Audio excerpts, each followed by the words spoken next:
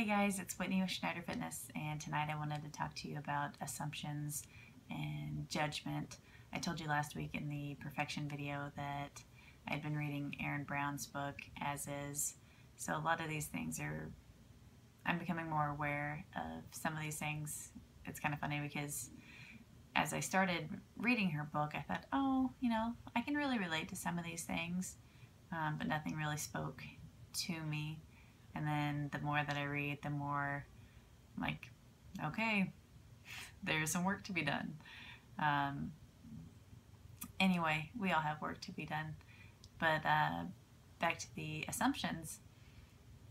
Here recently, I had a client tell me that the reason I got my body back um, was because it was my job.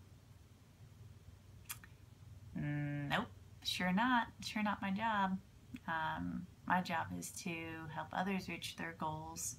You know, as a trainer, I provide, you know, programs, workouts, um, nutrition counseling, goal setting, um, and then all the tools to to get you there. But it is not my job to look a certain way. And who decides that anyway? Well, guess who does? I do. So, anyway, there's that assumption. Um, another assumption is that I work out three hours a day. Also, not uh, the reality. I do have to work, and I have a one year old that I chase after. And yeah, I, I won't delve into that too much, but certainly not working out three hours a day. Ain't nobody got time for that. Um, then today somebody assumed that my glasses weren't real. Well, they are. They're prescription. Um, doesn't mean that I can't see you right here, but if I, I wanted to read the clock behind me, I couldn't. Um, also, if I want to avoid migraines, I should wear my glasses. It doesn't mean I always do, but uh, you know, I try.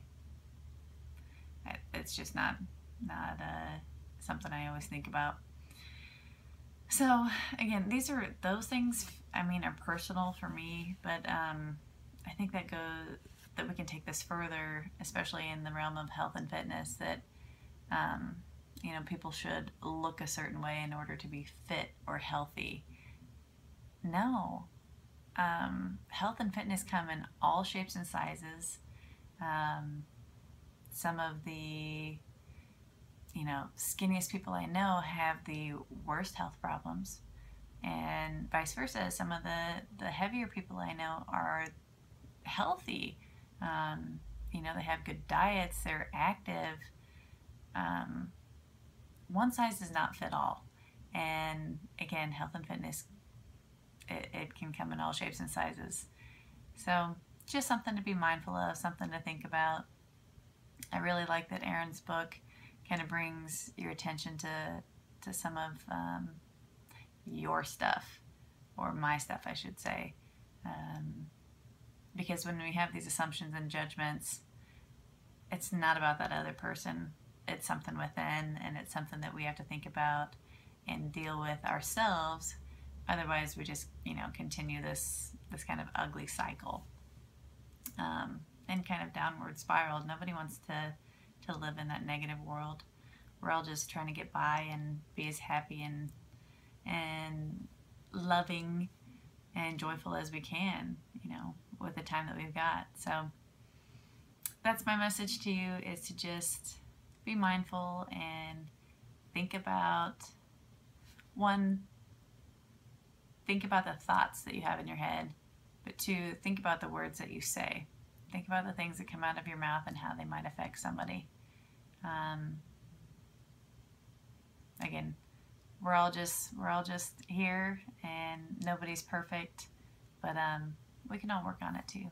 So, anyway, hope you have a good rest of the evening and or week because I'm not getting this up tonight. anyway. Ciao.